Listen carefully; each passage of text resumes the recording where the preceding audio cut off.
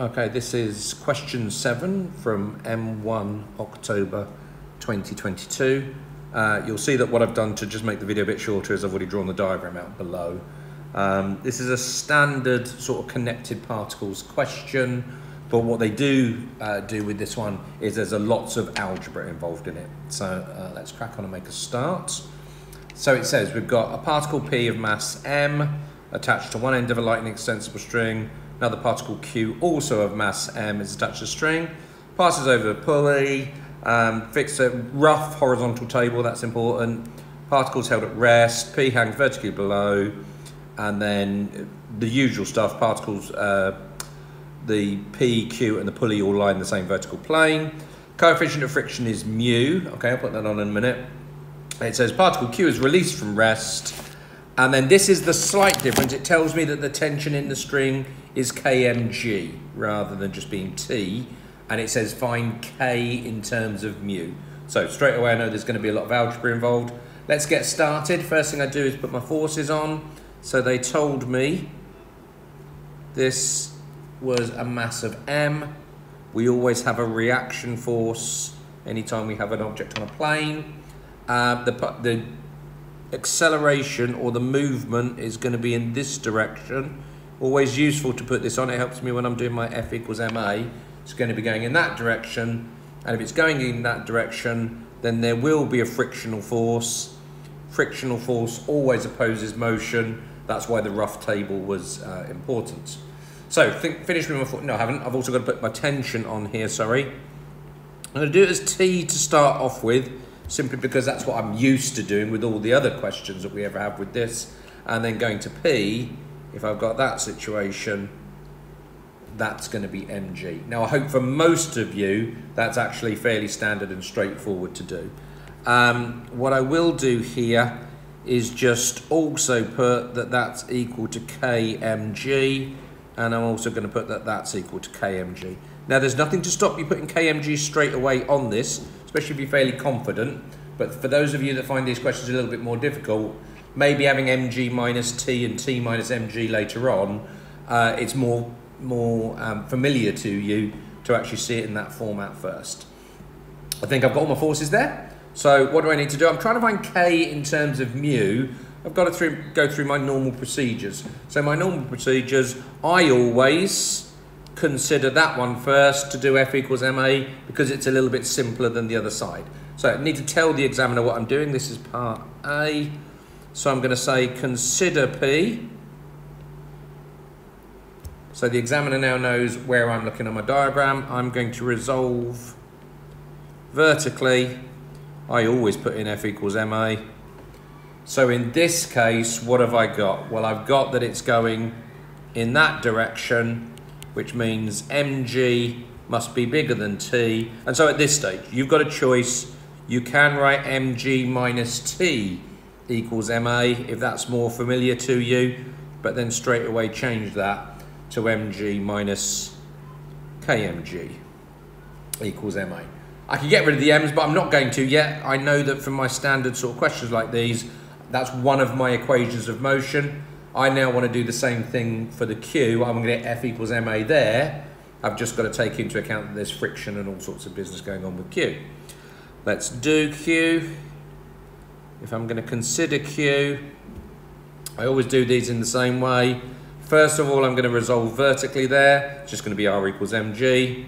I'm then going to remember that F equals mu R, so I'll get F, and I'll then after that finally do F equals ma in that direction, and that'll be my second equation of motion.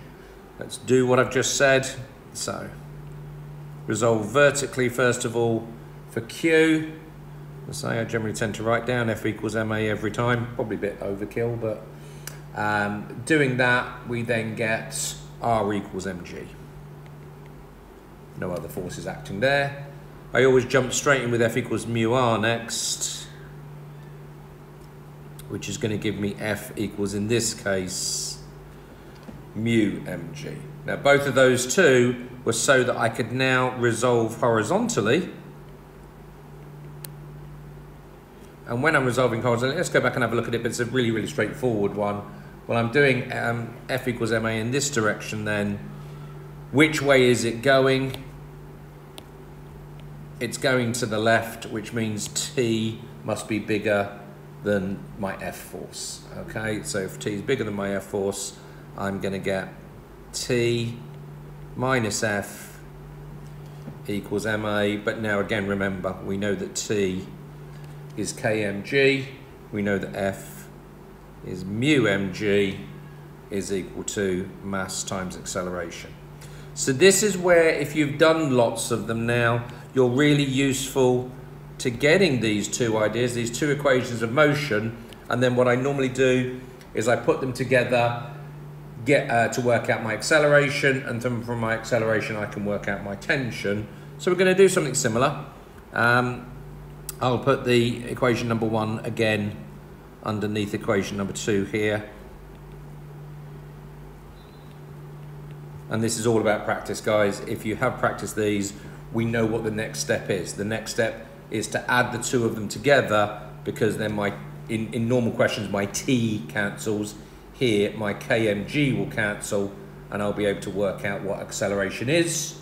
Once I've got acceleration, I can just put it back into probably number one and get um, some relationship between K and mu, whatever it is that I need. So in this particular case, I'm saying 1 plus 2 there. So 1 plus 2 gives me mg minus mu mg is equal to 2ma. The very first time you did that, that might cause you problems, but now this should be relatively straightforward, except for the fact, obviously, there's a lot of algebra in there. Cancel out the m's. You could have done that at any stage you wanted to. This is just when I'm choosing to do it for myself this time. And just tidying this up now, I've got g minus mu g is equal to 2a. So I can take the g out, which gives me 1 minus mu. And I'll, I can also divide it by 2, can't I? So I've now got an expression for a. Is that what I wanted? No, I knew from the original question I actually want k in terms of mu, but now all I'm going to do is I'm going to put that back into this equation and then uh, that's how we'll get it. Let's just do that then. So once I've got that, um, sub this into equation 2. Just telling the examiner what I'm doing, just in case I do make any mistakes at any stage. So kmg minus mu mg is equal to ma. That's uh, equation 2. I know the m's we'd cancelled them already, but I'm, I'm just making it, I don't want to make any silly mistakes, so going slowly but step by step helps me to make sure I don't do anything algebraically silly.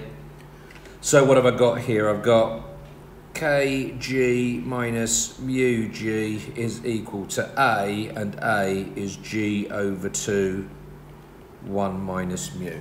So all I've got to do now is to rearrange that. First of all, get rid of the g's and then I'm going to get k equals there. I've got 1 minus mu over 2, and I'm just going to take this thing over to the other side. So that'll be plus mu, which is going to give me k equals 1 plus mu over 2. So it took a little bit of time to get there, but you know, you, have got to make a value judgment when you're going through doing these papers. That's worth seven marks. I haven't made any mistakes with it. Um, some sort of irritating algebra, if nothing else, and uh, I'm happy to have got an answer. Would have been nice, I think, for them to have actually said, show it's equal to something, but they didn't. So, yeah, that's part A done. Right, given that Q is initially a distance D from the pulley, straight away, experienced uh, mathematician should be saying this is going to be a SUVAT question, isn't it? So, um, D is a distance, sorry, it's a distance D from the pulley Find in terms of d, g and mu the time taken to reach the pulley. So this is unusual. They normally say that it doesn't hit the pulley. But okay, it's going to go all the way along to reach the pulley. And what are we trying to do? Find uh, the time taken. So I want t. So for part B, this is SUVAT. Let's have a look and see what we've got. So they've told me D always be on the lookout for u being equal to naught. It's, uh, it started off at rest. Um, t is what I'm looking for. I know I've got the acceleration because that was uh, a bit that I worked out in the first part. And so, as always, what I really want with the SUVAT question is I've got four of them. Uh, one, two, three, four. And out of those four, I've got three and I'm looking for the other one. V, not interested in, so I just put a dash there to make it easier for myself. What have I got? S, U, A, and T. So I'm treating you as though you know what you're doing with these sorts of questions. S, U, A, and T has to be that one out of the formulae. Let's just put everything in. So S is equal to D. U is equal to naught, so that's helpful because it means that all of that's going to go. So I'm going to get naught plus the acceleration, which was G over 2, 1 minus mu. Because it's G over 2, um, as half of that, it's going to be G over 4. T squared, and then say, okay, right, all I've got to do with this is rearrange to make T equals. There's going to be some square root sort of business going on. Um, let's just tidy this up over here. I'm going to get T squared is equal to, right, I can take the 4 over the other side, 4D, and I can take the G over, G1 minus mu over the other side and get that. You might need to stop the video and have a look at that. Hopefully you don't. That's, that's straightforward to you. So if that's true, then t is going to be the square root of 4d over g 1 minus mu.